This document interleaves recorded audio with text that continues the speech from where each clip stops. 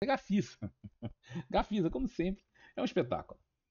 É, nunca decepciona, né? Então, o ativo que está em tendência primária, secundária e terciária de baixa, o que, que você faz quando ele sobe? Quando ele sobe, você vende. Ele tinha subido aqui? Tinha. Então, o cara quer vender. Tá, tudo aqui é venda, venda, venda, venda, venda. O papel está indo para o saco, para o lixo, para o fim do mundo, para Hades. Ele está indo para Hades. Pensa nisso, tá? Se você não lembra do que é, vai estudar é, mitologia grega e você vai chegar lá. Tá? Então, isso aqui está indo para Hades. É um cenário típico de venda. Qualquer coisa que acontecer com esse papel, o cara está querendo vender.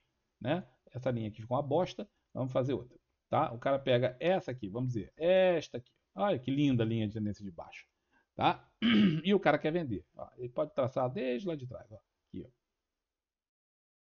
Olha que beleza. Teve uma tentativa de romper lá e desde ali que é venda, venda, venda. Toda vez que subir, vende, vende, vende, vende, vende, vende, vende, vende.